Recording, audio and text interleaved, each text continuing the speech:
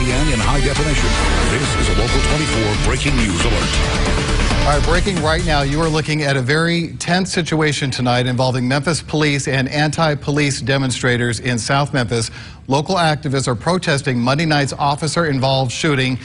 This man, Martavius Banks, we're going to show you his picture here, was shot and critically injured after a traffic stop Monday night, and police revealed yesterday that some officers turned off their body cams and dash cams before Banks was shot.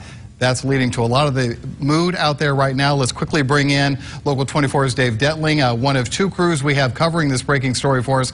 All right, so Dave, we know of at least six arrests or at least six people being detained. Uh, police barricades also set up. Where are you now? And as we show more of that video from you and your photographer, walk us through what you saw. Hey there, Richard. Well, this remains a very fluid situation. We are at Gill Avenue and Elvis Presley Boulevard.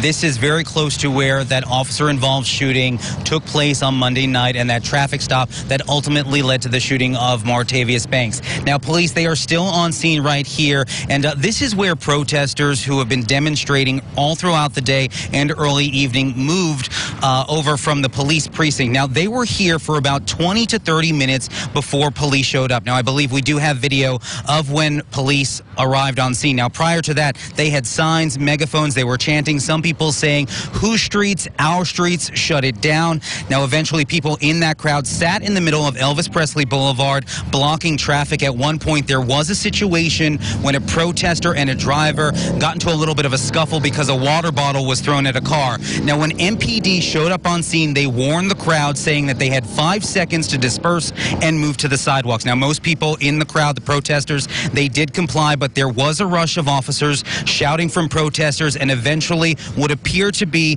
the detainment of at least six people, some of them activists that we know in the area and the community. Now, as we've reported, this all again stems from community unrest with the shooting of Martavius Banks, who remains in critical condition at Regional One Hospital. Now, his mother, Janice, was on scene, but she remained on the sidewalk. Again, a portion of uh, the lane of traffic here on Gill Avenue remains remains closed to traffic.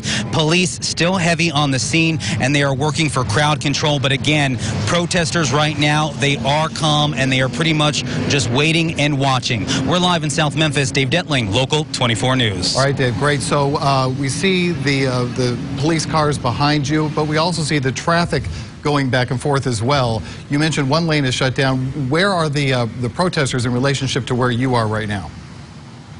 And what are they doing? Well, pretty much we've uh, talked about uh, well, they're pretty much on the sidewalk and they're kind of just taking this all in. A lot of people are on their phones doing social media, Facebook Live, giving commentary. But where we are, there is a small group at the South Memphis Market across the street. But pretty much, we're not seeing that large crowd that we saw uh, within the past hour. Of course, it was much larger, much louder until police arrived on scene. That is because police, they were moving from the police station where that original protest took place.